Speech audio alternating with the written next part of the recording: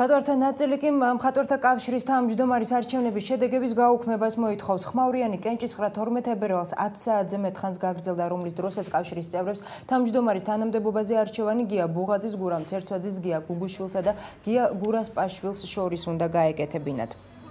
არჩევნების დასრულების შემდეგ შედეგების გამოცხადებამდე რამდენიმე წუთით ადრე ერთ-ერთმა კანდიდატმა გია გუგუშვილმა კი გია ბუღაძის სასარგებლოდ კენჭისყრიდან საკუთარი კანდიდატურა მოხსნა. შედეგად გია ბუღაძე კავშირის თავმჯდომარე გახდა. ამ არჩევნების ბათილად ცნობისთვის კი დღეს მხატვართა კავშირში გურამ ცერცვაძის მხარდამჭერები შეიკრიბნენ.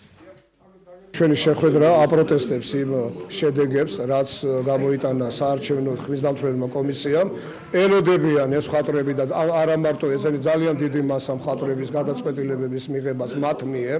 ბატონი გია ბუღაძის განცხადებას ელოდებიან თუ რა პოზიციაზე დგას ის, თulis თუ არა ეს არის არჩეული კავშირის ხელმძღვანელად და ამის შემდეგ ჩვენ მივიღებთ ადეკვატურ გადაწყვეტილებას მიიღებს. ვაპირებთ სასამართლოს გავასაჩივროთ გუშინდელი არჩევნები და ყველა ამ დამნაშავეებს, რომლებმაც ასეთი დარღვევები გააკეთეს, უნდა აგონ პასუხი ხატორთა კავშირის წინაშე. შეხვდავაზე ასეთი გეგმა, რომ ეს არის ჩვენი ოჯახი. გია ერთ-ერთი რჩეული ინტელიგენტია ჩვენი საზოგადოების. ხო და მოვიდეს აქ ჩვენთან. ჩვენ ხო ერთი ოჯახი ვართ ბოლო-ბოლო. გია ძალიან საინტერესო პროგრამა აქვს. გურამსაც საინტერესო პროგრამა აქვს.